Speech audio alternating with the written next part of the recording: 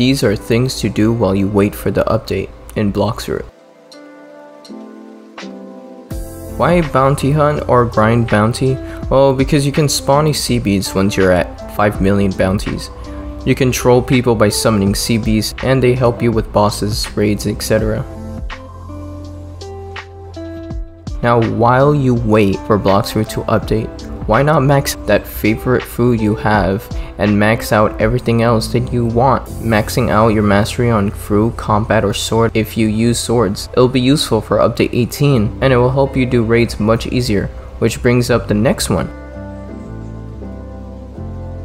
Doing raids gives you fragments, so I recommend either joining our Discord server, Frog Kingdom, link in the description with my other social media, or you can ask your friends to help you I recommend getting as many fragments as you can because who knows you might need them and if they're gonna add V4 to races it might cost fragments. As you know Superhuman Combat is getting a V2 so that's another reason to save up your fragments.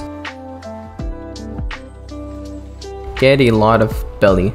Why? Well, because you most likely will need it for the new stuff they will be adding. Indra said he'll add a new way to waste belly, mostly reason being some of us just have too much too much belly that we don't know what to do with it. Of course max your level before the next update or get at least 100 levels away from the max.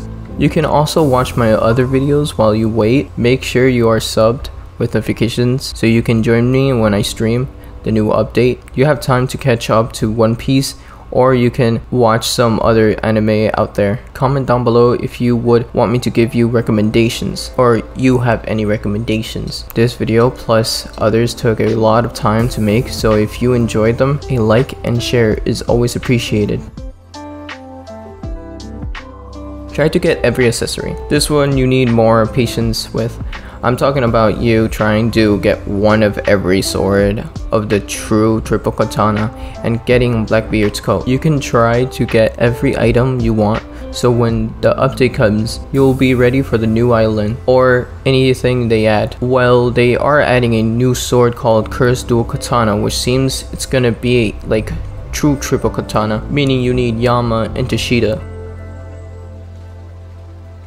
Get all races to V3 now I'm saying get Minks, Skypiea, and Fishman to V3, but if you want, you can try to get V3 on the other two races, Cyborg and Ghoul. They'll add a V4 transformation to races on the next update. Get titles. This one is kind of hard depending on what titles you you are looking for. But in the meantime, you can try to get the titles you want or get all of them if you can. If you have a Dark Blade, this gives you time try to get its V3, which gives you the title Slayer of God.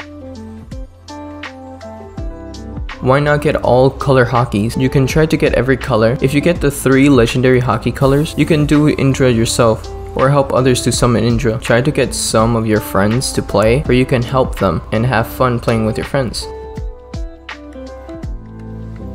You can go outside and touch some grass, or play some other games on Roblox, or off Roblox like Grand Piece Online, that game came out free. You can try to explore and see if you can find a fun game if you don't have one already. There's not a lot of good games out there on Roblox. This brings up a reminder that I'm still making a Roblox game. This one is if you're bored, are max, and you want to still play Blox Fruit. Just make an alt, grind on it, and there. You start over and you can become a pro once again. Now these are the ones I can think of, but if you have more, comment them below. Thanks for watching. Join our socials, they're in the description.